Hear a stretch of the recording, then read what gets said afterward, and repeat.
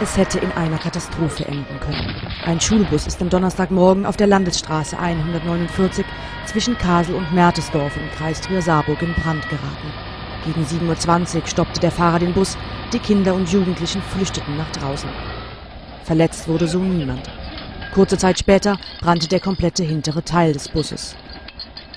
Wie sich herausstellte, waren die beiden rechten hinteren Zwillingsreifen in Brand geraten.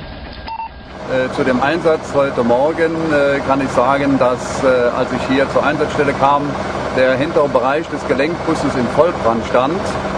Äh, beim Eintreffen der Feuerwehr Kasel wurde gleich ein Löschangriff ähm, eingeleitet äh, mit einem Schaumrohr und einem wasserführenden Rohr, um das Feuer zu löschen. Wie es zu dem Brand kam, ist noch unklar. Die Staatsanwaltschaft hat ein Ermittlungsverfahren eingeleitet, da es nach Schüleraussagen schon seit Wochen in dem Bus nach Benzin und Gummi gerochen habe. Außerdem gibt es Hinweise, dass der Busfahrer Warnungen eines Rollerfahrers ignoriert hat, der ihn auf das Feuer aufmerksam machen wollte.